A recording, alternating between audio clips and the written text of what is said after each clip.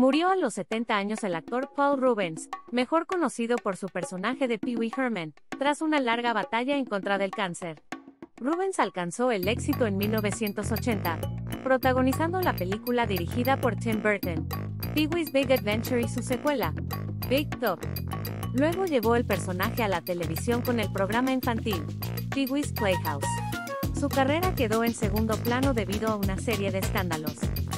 En 1991 fue arrestado por exposición indecente en un cine para adultos en Florida, lo que supuso un gran revés para su carrera y un cambio en la percepción que el público tenía de él.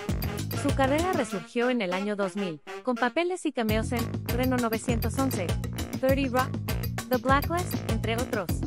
El personaje de Pee Wee volvió gracias a una obra de teatro en Broadway y una serie de Netflix.